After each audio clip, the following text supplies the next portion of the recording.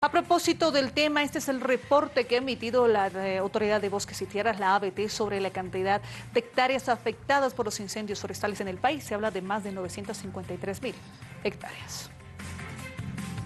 Lamentablemente, hasta la fecha, en Bolivia se registró más de 953 mil hectáreas afectadas por dos incendios, de los cuales con mayor incidencia se registran los departamentos de Santa Cruz y Beni, y solamente en este departamento se registró más de 571 mil hectáreas afectadas.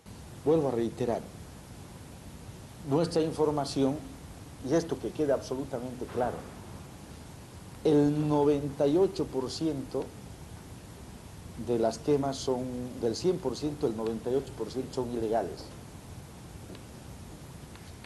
Y apenas el 30% son quemas ilegales. 3%, apenas el 3%, ¿no? Sí, 97 y el 3%. ¿No es cierto? Eh, de las 953 mil hectáreas quemadas que van del país. El director ejecutivo de la ABT informó que se detuvo a dos personas en fragancia realizando quema ilegal en San Ignacio de Velasco. En el caso de, San Ignacio hay dos personas aprendidas, una de sexo femenino donde por la situación de sensibilidad ahí hay arresto, pero en los otros casos probablemente haya medida cautelar. Debido al fuego en el municipio de Roboré, el director de la ABT teme que las comunidades de San Ignacio y San Rafael tengan desabastecimiento de agua para el consumo humano y de animales. La represa del pueblo, que más o menos abastece para unas 60 mil personas, según la información y la petición de eh, las propias autoridades locales, podría tener un abastecimiento no más allá de dos meses, probablemente menos. Vale decir de que eh, podríamos tener graves problemas de agua en el caso de San Ignacio.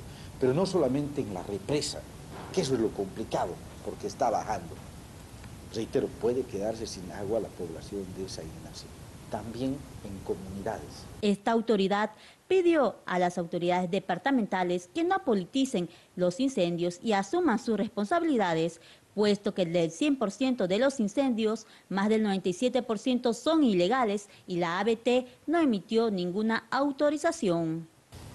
Algo más preocupante que el fuego al mismo tiempo es, yo había advertido, es la posibilidad de la politización. Y yo creo que no es el momento, nosotros habíamos advertido desde el principio, este es el momento de nuestra unidad, este es el momento que confusionemos fuerzas y esfuerzos y que asumamos nuestras responsabilidades competenciales y no estemos buscando que el culpable es el del frente. No, no, no es así. ¿Sabe qué pasa? Dios quiera que llueva. El gran culpable hoy es el cambio climático, eso es real. Por su parte, una comisión de fiscales y la ABT indican que citarán a los dueños de los predios donde se inició el incendio. Eh, se está investigando, eh, se está viendo las imágenes satelitales para identificar de dónde se originó y citar a los dueños de los predios donde se habría iniciado el fuego.